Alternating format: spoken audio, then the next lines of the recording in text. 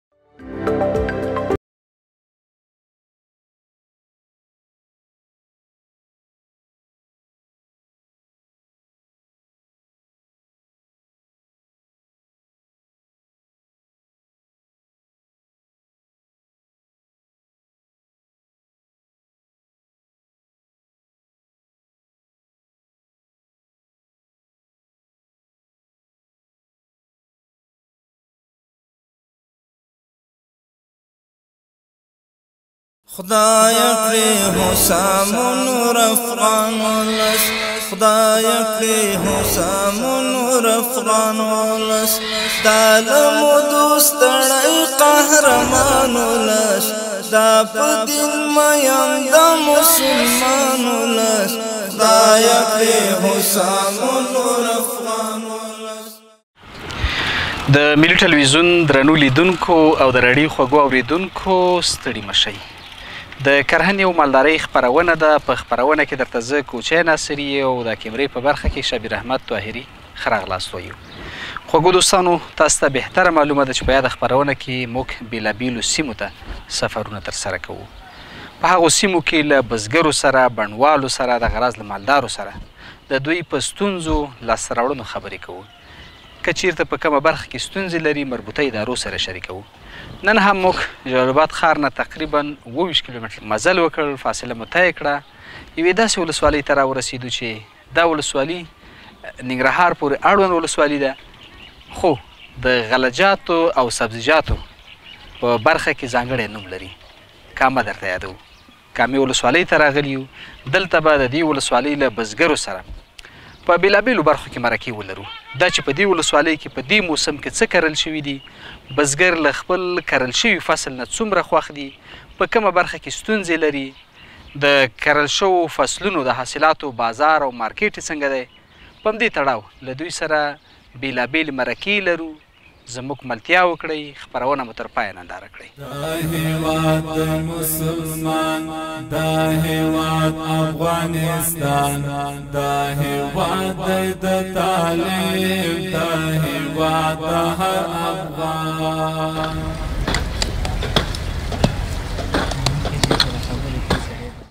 د کرهنې او مالدارۍ د خپرونې درنو مینوالو تاسې د کامې ولسوالۍ د بېلابېلو سیمو منظرې ننداره کړلې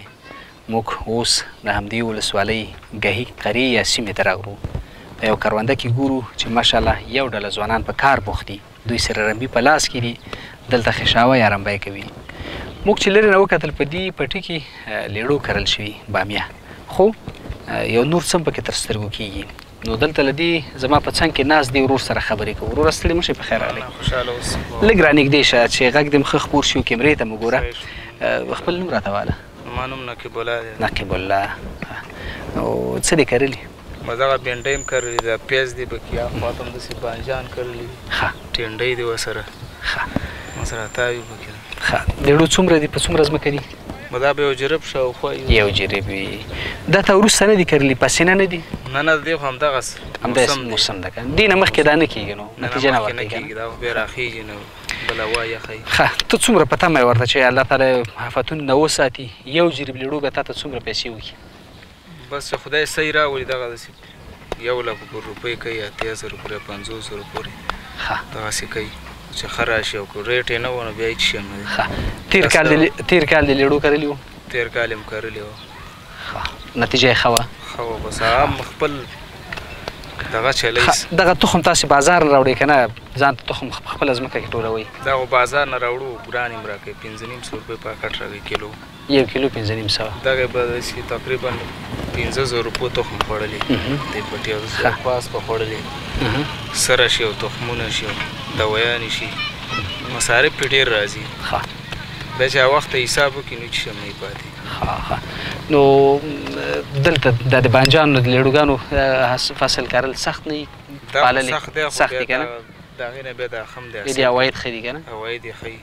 ځکه سیزن یې موږود دی د هغې عواید به دومره نه روسته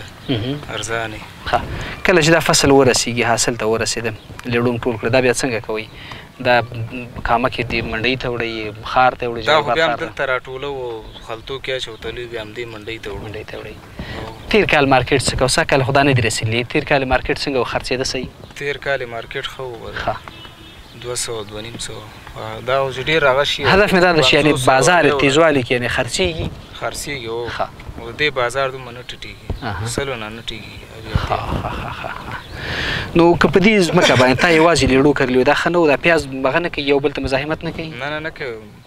څه هغه پکې نشته یو یو دانه دی مس ښه دا پیاز بیا غوټه کوي ګنډه کوي دا خو برابر غوټه کوي د کور د پاره مګ یو دانه یې خې دا خو د کور هغه هم شي بازار کې اخلو خو دا خدي ښه او او خپل څو ساعته کار کوي سهار کله راوځي کار ته تر څو بجې کار سهار مونږ کو راوځو بس بس لاسو پوری او لاس پوری بیا ماسپهین چې مونږ کو سه 2 3 بجې راوځو دوه درې ساعته کار ماسپهین کې کوو څلور پنځه ساعته د یو وخت کې کوو څومره ځمکه در سره ده مدا زیاته به یو پنځه جری به وي پنځه جری به دوه دا سبزی د یو درې با خو غنم ښه غنم دم کرلی ښه ښه خپل ژوند کې څومره خوښي بس دستی سات خو به دغه باندې خوشحاله یې چې خپل کار دی داسې بدعملۍ نه پرې اخوا یو د خوشې دغه نه پرې دغه یو خپل کار کې مصروف یو دا ناس ملګري چې در سره دي کرونده کې دا دې ورونه دي کاریګر دي شکر الحمدلله ورونه دي څو ورونه دي شکر دی اته نه ورونه واړه دي وړ او ته مشرې زه مشرې مشرې ستاسو غوښتنه مربوطه ادارو نه ستاسو سره څه وکړي په کومه برخه کې څه غوښتنه لرئ ترې نه مونږ غوښتنه همدغه ده چې دا سره تخمونه راته راکړي دويانې راسره کومک وکړي مونږ ته همدغه مشکل دي ځکه سره دا چې دومره فصل او دا سره تخمونه راوړو قرض يې راوړو دا چې وخت سره وځي نو اول دوکاندارانو ته ورکوو څه کور ته شي څه دوکاندار ته شي کله چې تاسو په خپل کروندو کې فصلونو کې امراض وګورئ په فصلونو کې امراض ولیدل شي بیا په خپل سر درمل ورته راوړئ کنه یو ډاکټر سره مشوره کوئ نه مشوره کو ډاکټر سره یو یا بوټی یا پاڼه سمپل وړی کنه دا وروړو بیا ته هغه چک کوي ښه په هغه مطابق به دوا راکړي هغه کارونه کې بیا بل دوا راوړو بل راوړو نو د غیوی برخه نه خو ماشاءالله خې کامه پرمانه وبل لري د وبو ستونزه خو نشته نه نه مست نو ډیره زیاته مننه خوشاله اوسئ درنو لیدونکو موږ چې په کومه کرونده کې ناسو دي کې لیړو کرل شوی خال خال یو دانه پیاز هم کرل شوی پکې ورور له خپل ژونده خوښ دی، غوښتنه یې هم دا ده چې مربوطه ادارې یې دوی سره د کیمیاوي سرو، د اصلاح شوو تخمونو مرستې وکړي، خو یو څه چې تقریباً د ننګرهار له ډېرو ولسوالیو سره یې لوی توپیر لیدل کېږي، هغه د اوبو شتون دی، که هماغه ولسوالي ده چې پرېمانه اوبه لري نو کروندګر یې په همدې هم خوښ دي چې د فصلونو د اوبخور په برخه کې دوی کومه ستونزه نه لري اوبه پکې پرېمانه دي نو رښتیا هم چې کومه سیمه اوبه لري هلته پرمختګ وي هلته هوساینه وي سرسبزي وي په دې هیله چې زموږ د هیواد ټولې برخې سرسبزه اوسیږي ارامه اوسیږي سوکاله اوسیږي خپرونه مو جریان لري ملتیا مو وکړئ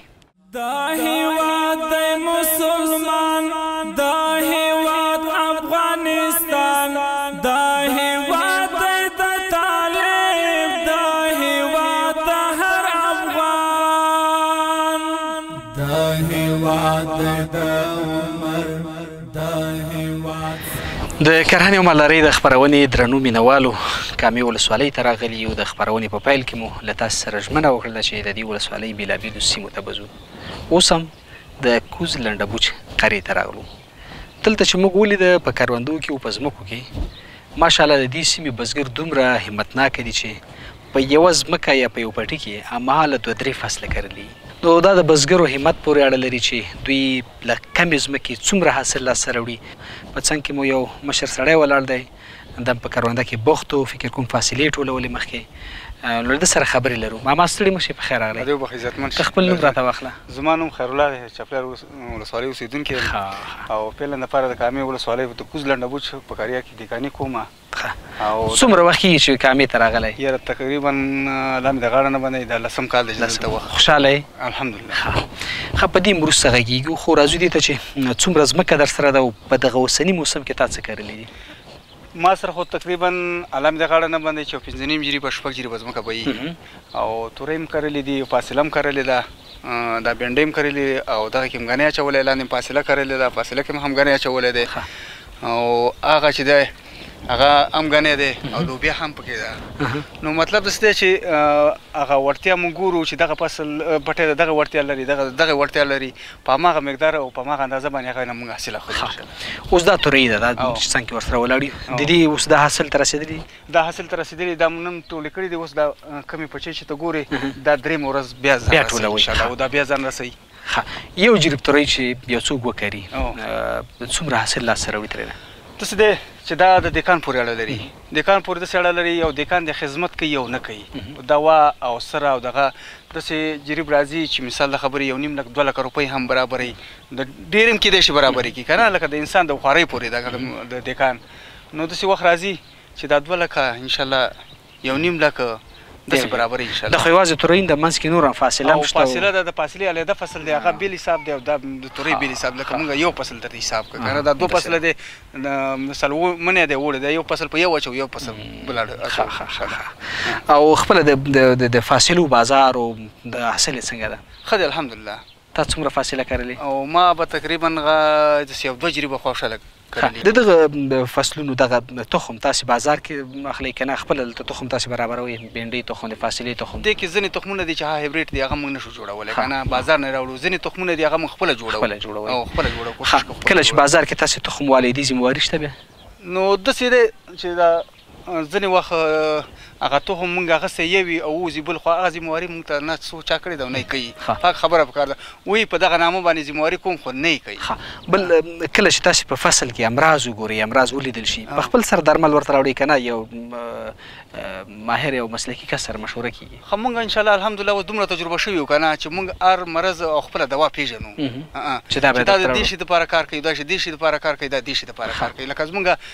تجربه زیاته شوې ده ان شاء الله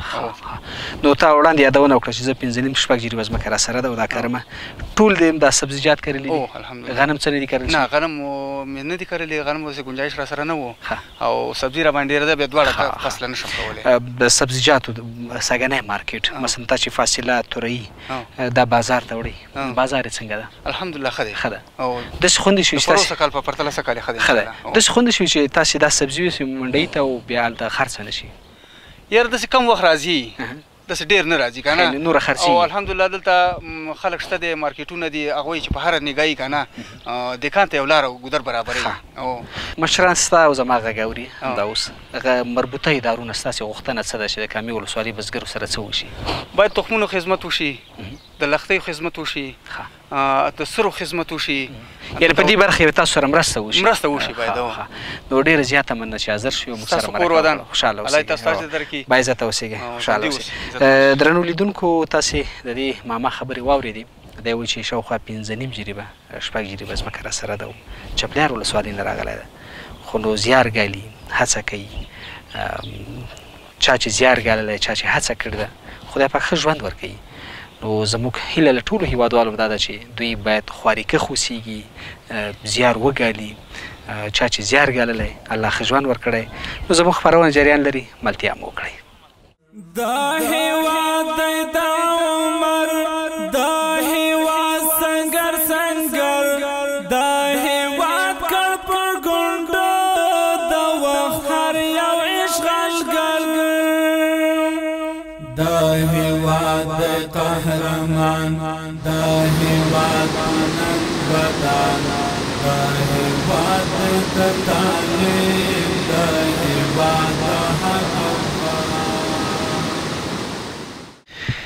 د کرهنې او مالدارۍ د خپرونې درنو مینوالو د کامې ولسوالۍ په دې طاهر قريه کې يو دلته مو چې ولده يو ډله ځوانان مشران په کرونده کې بوخت دي کار کوي دا چې په دې کرونده څه کرل شوي دي دې ماما په خپلو ځمکو نور څه کرلي دي له ده سره خبرې لرو ماما ستړي مه شئ پخیر راغلی خدای دې په مهرباني خپل نوم راته واخله زما نوم عزت الله دی عزت الله د همدې سیمې اوسېدونکی او دغه د طاهر رسول خان اوسېدونکی یم نو څه دې کرلي دي دا خو مارو ده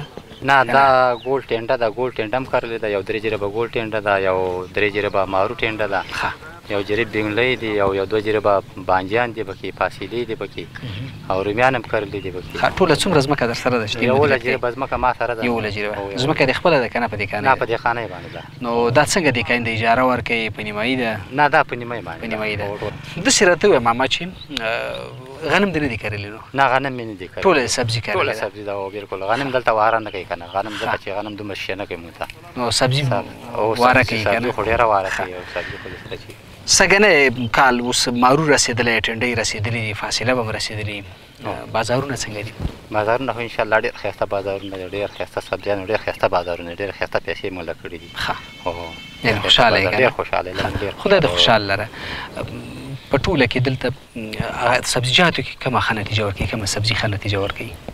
ولا نو داسې دی چې اکثره دلته دا ټینډۍ او دغه خل ډېر کري دا بانجان ډېر کري ځکه چې دې کې دویم فصل لا زیات سپین غنی پکې دام پکې راشي نو دام شي دوه فصل شي نو دې کې بل شي هم کرل شوی دې کې دا سپین غنی غنی کرل شوی دا غنی دا غنی ګان دې پکې داسې نو دا ټینډۍ خو دې غنی ته مزاحمت نه کوي نه نه خو دغه اوس یو میاشت به دغه ټینډۍ وي نو دا ختمیږي ښه. نو بیا ګنۍ ته نیوځي بیا ګنۍ سره موږ خواري کوو نو ښه ښایسته ښه. ګني ګان کوي نو دې جویچو کې دا ګیا زیاته نه ده درنه ګیا زیاته شوې نه ده خو دا دا خو پټي ګیا ګانې کوي دا دویم دریم ګوډی دی دا چې ښه. دې ته موږ ورکوو اما په ګوډونو باندې خواري به کوې نو کار به سمیږي هو نو که خواري ونه کړې خو نه کیږي کار. ښه. داسې خو کله نه شوي چې تاسې د یو بازار نه تخم راوړی وي بیا نتیجه نه وي ورکړي خرابه نتیجه یې ورکړي کمزوری. ولا دسې هو کېږي خو موږ کوم معلومدار تخمونه چې د مقه معلومدار تخمونه راوړو چې کوم مانیټراین شوي او کوم ازمیښدل شوي هماغه تخمونه موږ راوړو بدل تخمونه موږ نه راوړو کار څومره خلک صفت وکړي موږ یې نه راوړو هماغه صحیح تخمونه موږ راوړو او دا کرونده کې دا کوم کسان چې کار کوي د کورنۍ غړي دي کاریګر دي در سره نه دا کاريګر دي بس يو څو کسه د کورنۍ غړي هم دي خو نور کاريګر راسره لګيا دي. څو کسان تاسو سره بوخت دي په کار باندې چې تاسو سره محصل راټولوي رمبی دې کوي ګور. نو دا خو اوس تقريباً چې نن څلور کسان دي راسره چې څلور يو پنځه او يو درې او دغه شان ما سره په دې کار باندې بوخت دي. بوخت دي ښه. کار ته لګيا راسره. ښه ښه او کله چې حاصل راټولوي بازار ته يې وړي خرڅيږي بازار يې شته؟ هو ډير ماشاءالله سږ کال خو موږ ډير زيات خوشحاله دي حاصلاتو نه. ډېر زیات خوشحاله یو. او دا رتبه ماما څو ساعته کار کوي د ورځې؟ نو د ورځې خو دغه شپږ ګېنټې کار موږ ساري کوو او دغه دوه نیمې یا درې ګېنټې څخه کار ماسپښیني کوو. چې نهه ګېنټې راځي. او تقریبا دغه نهه ګېنټې کار نهه ګېنټې کار برابرېږي. یو شمېر خلک شته ماما زموږ هېوادوال هغوی ځمکې لري، پټي لري خو زیار پکې نه ګالي، خواري نه کوي، هغوی نه دې غوښتنه څه ده؟ نو هغوی نه هم غوښتنه همدغه ده چې دا سبزیانې وکري په خپلو پټو باندې او په خېټه باندې به ماړه شي او په روزګار به یې دغه شي بار ملکونو له څه کوي چې ځي بار ملکونو له ځي او چې په همدې خپل وطن کې ولې خپل وطن ولې نه آبادوي په کار ده چې خپل وطن کې زیار وباسي زحمت وګالي نو ثمره به یې ډېره وي لکه دغه دی موږ په خپل وطن کې لګیا شکر دی ښه خوشحاله یې څوک یو شان څوک بل شان موږ شکر دی ښه خوشحاله یې پکې ښه ښه نو ډیره زیاته مننه چې حاضر شوې او موږ سره مرکه وکړه درنو لیدونکو یو یادونه چې زه یې ضروري ګڼم موږ او تاسو چې په ورځني ژوند کې له ډېر څه نه استفاده کوو دا د دغه بزګر د لاسونو د تڼاکو برکت دی تاسو ګوري په دسترخوان چې موږ څه نه استفاده کوو هغه که په سبزیجاتو کې غلجاتو کې میوجاتو کې د دغه بزګر او بڼوال د لاسونو د تڼاکو برکت دی نو زموږ خبرونه جریان لري ملتیا مو وکړئ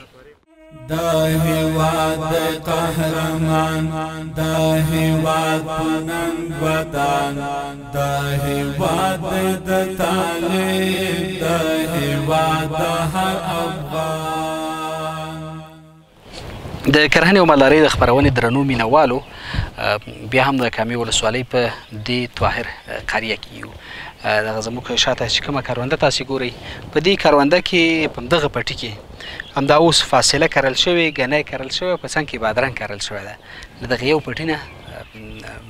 درې ډوله حاصل باید ترلاسه شي نو دا هم د بزګرو هغه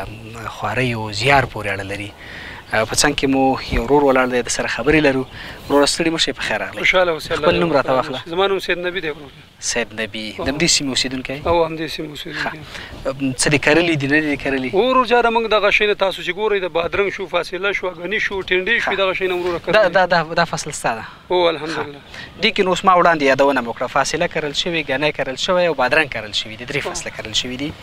بادرنګ خو حاصل تر رسیدلی نو هو الحمدالله وروره بادام ښه. رسېدلي دي. دا تارونه مو ورته دېغه کړي چې دا زېلۍ په دې تارونو وخېژي نو. هو دا غرور جانه مصرف غواړي ډېر خواري غواړي زيار غواړي دې باندې تاوانونه کېږي دا ګوره دا ډاګې نو دې باندې تقريباً جري باندې دغه دېرش پنځه دېرش زره روپۍ د دغې شيانو خرچه راځي ښه څلوېښت زره پورې هو. تا څه کرلي بغير له دې نور دې څه کرلي په ما د دې ځمکو نه کې؟ بغير شنه فاصله مې هم نوره کرلې ده ټېنډې مې هم کرلي ده تاسو يې ګورئ دا اها. دا شین هم کرلی دی ورور جان ښه ټنډې خو رسېدلي فصل رسېدلی الحمدلله ښایسته رسېدلي دي ښه دا چې کله تاسو وړئ بازار ته نو خرڅېږي ولې نه خرڅېږي ورور جان ډېر ښایسته او حاصل خو ورکوي نو حاصل الحمدلله ښایسته حاصل ورکوي خو موږ دغه غوښتنه لرو د حکومت نه چې موږ ته د تخمونو کې اصلاحات راولي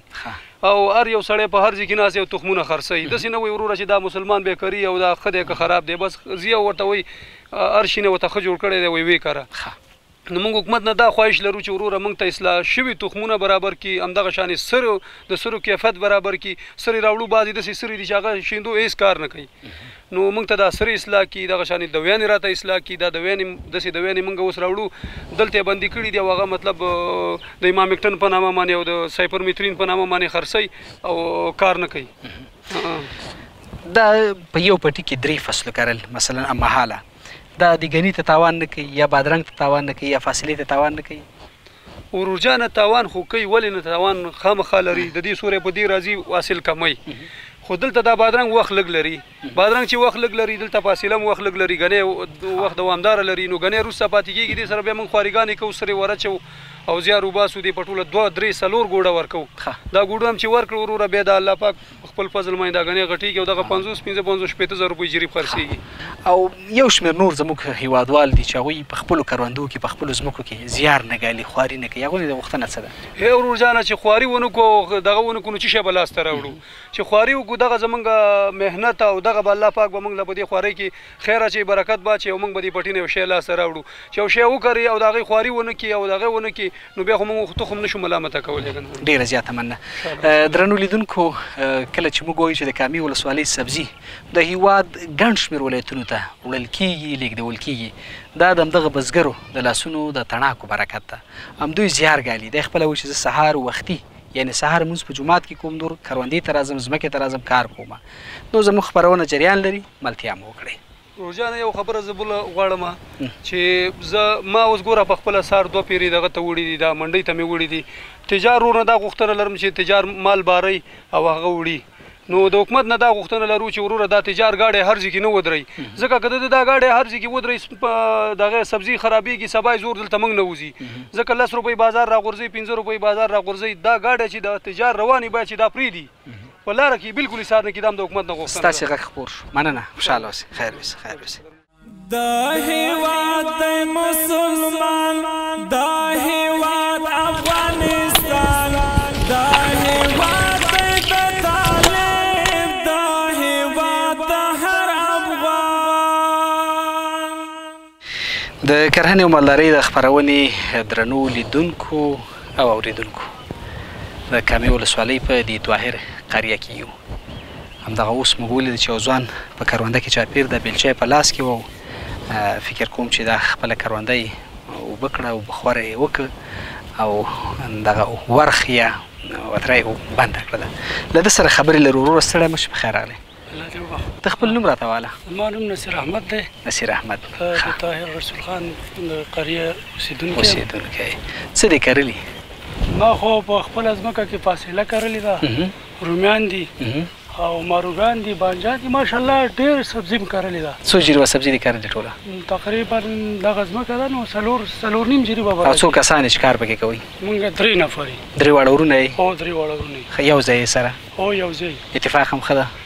ماشاءالله زه به دعا درته وکړم اتفاق مو خدای دوامدار لره او په اتفاق اوسېږئ ښه له کرل شوي فصل نه څومره راضي یې په تېر کې چې تاسې سبزي کرله تېر کال هم کرلې وه څومره خوښ یې ترېنه تیر کال هم کرلې وه د تیر کال په پرتله سږکال ماشاءالله ریټونه هم ښه دي الحمدلله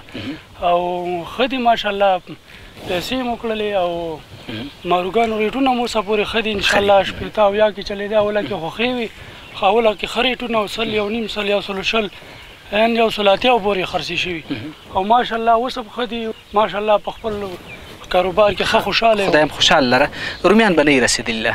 دې ته وخت شته رومیانو ته وخت شته رومیان به انشاءالله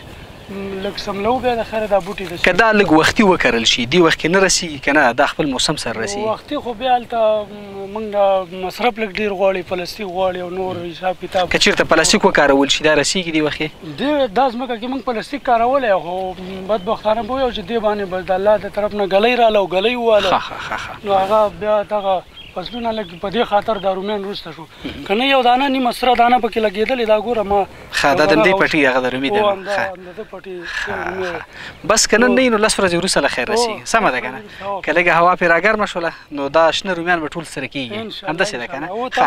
نو اوس د بېلچه لاس کې وه څه دې کول دا پاڼه دې وکړه دغه اپل پټی لږ وچ دی لږ جګ دی نو هغه سر مې اوبه کړو ډېر زیات تږی و او دغه چې دی دغه خو وتره پوره ده نو اپل ډېر بوټي خرابېده نو په دې وجه هغه مې اوبه کړه نو چې لږ بوټي لږ په کارونو کې کم کار نه خوښېږي بزګرۍ کې چې هغې نه ځان پټوې کم کار الحمدلله مونږ سره عادت دي او راضي دي بس همداسې همتناک اوسېږي او داسې کله کله دا ورخونه بعضی وخت کې سړی غشي ستړی ورخه دومره کمزورې بن کړی چې دا کور ته رسیږي ورخ به وبوړي د سکل نه شي ځان مطمئن کړي تر واسه خو دې باندې موږ تاوانونه کړی دي تخمونه دي پیسې په ډېری تلې زمونږه د اماراتو نه دغه غوښتنه ده چې موږ سره باید د سر حکومت کوشش ځکه چې یو اسلامي امارت نه غوښتنه ده اسلامي امارت نه تقریبا په 1000 روپۍ یو بورې ده دې ته زمونږ وس نه کیږي زمونږ جدي خواهش دا دی چې موږ سره د سرو کومک وکړي موږ ته سرې راکړي زمونږ فصلونه به په سرو ځي نو مثال په وزر روپۍ بورۍ ده که زه دې ته سر عالم نو دا څلور جری بزمه کړه دا مانه 50000 روپۍ سره غواړي نو 50000 روپۍ چې ما ما سره غو دې وخت نشته کړه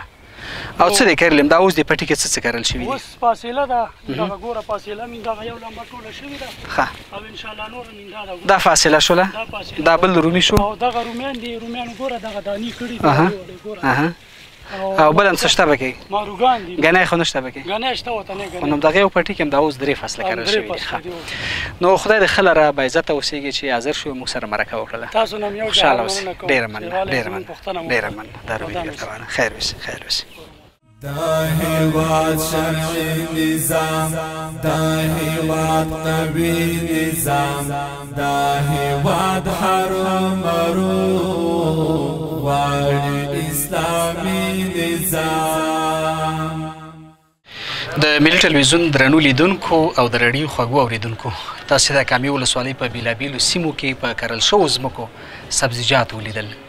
همدغه سبزیجات چې کله حاصل ته رسیږي حاصل راټولیږي ما وړاندې مې یادونه وکړه چې دا د کمی ولسوالۍ د سبزیو منډۍ ته راوړل کیږي نو اوس هم په همدغه منډۍ کې د منډۍ یو تن مسول زموږ په څنګ کې ولاړ دی له ده سره ځنې خبرې لرو ستړي مشي ورور په خیر راغلی تاسو خپل نوم راته والي الحمدین مومن ښه. کامې ولسوالیو د سبزیجاتو مسول په توګه. ښه د دې منډۍ. ښه خوشحاله شوم مومند صاحب. پوښتنه دا کوو درنه چې د ورځې به د کامې ولسوالۍ په څومره اندازه کې سبزي دې منډۍ ته راځي؟ الحمدالله تاسو ته بهتره معلومه ده چې د کامې ولسوالي یو زراعتي ولسوالي ده د ننګرهار په ولایت کې نو دلته اوبه هم لرو نو الحمدالله دلته تقریبا داسې ووایو چې یو دیر زره پنځه دیر زره منه سبزی راځي ها په سبزی کې کومه سبزی دلته خو مختلف نوع سبزیجات دي چې بادرنګ دي توریان دي کدوان دي او دا ټنډي دي فاصله ده بانجان دي کریلا ده دا مختلف نوع سبزی چې شی وغواړي دلته الحمدلله شته کله چې دلته سبزی راوړل شو بیا نو دا سبزی لدې زره هیواد کوم برخو ته ځي دلته خو موږ مختلف تجاران لرو د مختلفو ولایتونو څخه راځي نو تقریبا داسې ویوه چې څوارلس پنځلس تر اتلس ولایتونو پورې دا سبزي انتقالیږي خو لله الحمد چې اوس امنیت دی او خلک ډاډه تګ راتګ کوي او کاروبار په ډاډه توګه کوي نو زموږ دغه تقاضا داسې ده چې دا ټول افغانستان ته انشاالله انتقال کړو او ټول افغانستان برخو ته ورسیږي. ښه ښه ستاسو غوښتنه له مربوطه ادارو نه په دې برخه کې تاسو سره څه وکړي کوم غوښتنه لرئ غوښتنه خو دا ده چې دغه کامه کې دغه تخمونه د دهقانانو چې کوم دي دا لکه کمزوري دي دی چې په کوم نوعیت اخلي هغه سي نوعیت نه خېږي سري دي سکالې ډېرې لوړې بیو ته رسېدلې وي نو په دغه برخه کې د دوي په برخه کې نو په دې رابطه د دوي په رابطه باندې د دهقانانو بزګرانو سره